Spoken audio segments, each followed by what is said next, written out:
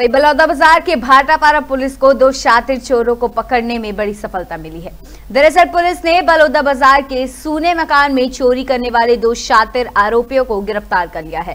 साथ ही गिरफ़्तार आरोपियों से सोने चांदी का जेवर, गलाया गया सोना आदि सहित कुल आठ लाख से अधिक का सामान भी बरामद किया गया है। जानकारी के मुताबिक गिरफ़्तार आरोपी विभिन्न जिलों में पिछले 10 वर्षों से लगातार चोरी की घटनाओं को अंजाम दे रहे थे।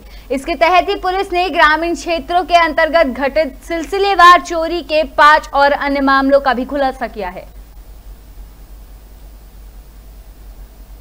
एक चेहरा दिखा जो लगातार घटना स्थल के आसपास जहाँ पर चोरी हुई है, वो दिखाई दे रहा था, लेकिन वो चेहरा ढका हुआ था। जब इसके एग्जिट पॉइंट को चेक किया गया था तो एक बाइक देखी जिसमें वो बाइक से आता है रॉयल इनफील्ड बाइक थी। काफ़ी कीमती बाइक थी। और इसके आधार पर जब हम ट्रेक करते गए तो ये पता चला कि जितनी भी घटनाएँ हुई हैं, यही बाइक का यूज़ किया है और एकमात्र यही व्यक्ति जो चोरी करता था। उस समय उसके बाद टावर डाम और सीसीटीवी का एनालिसिस करने के पश्चात एक आरोपी की तस्दीक हुई और आरोपी का जब पता सजी किया गया है तो ये पता चला कि आरोपी जो संतोष कुमार राठौर है, जो झारसूगुड़ा का है। और ये लगभग जनवरी 2024 से ही भाटापारा में किराए से रह रहा था।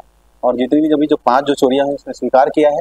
और ये चोरी करने के पश्चात जो भी उससे ज्वेलरी मिलती थी, वो चोरी करके रायपुर भाग जाता था, रायपुर होटल में रुकता था और अपने साथी को झारसुगुड़ा से जो उसका साथी था, अक्षय कुमार वर्मा, जो एक ज्वेलरी ज्वेलर्स है, वो खरीदी का काम करता था और वहीं पर वो खरीदी बिक्री का जो भी बीच होता था, या, ये रावत के जाकर वहाँ पर बेच देता था। इस प्रकार पाँच चोरियों में हम लोग लगभग इसमें आठ लाख, साढ़े आठ लाख के आसपास के जो सोना चांदी के जो ज्वेलर्स हैं उनके हमने इसमें जब्ती किया है और एक चोरी में प्रयुक्त हुई रॉयल इनफील्ड बाइक, जो लगभग दो लाख बीस हज़ार का है। इस प्रकार कुल जुमला दस लाख छियासठ हज़ार रुपए का हमने इसमें जब्त किया है।